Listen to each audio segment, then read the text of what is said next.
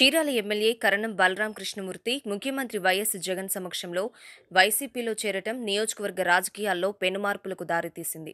రాజకీయాలకు కులాలకు అతీతంగా చీరాల ప్రజలు తనను ఆదరించి గెలిపించారని బలరాం కృష్ణమూర్తి పేర్కొన్నారు.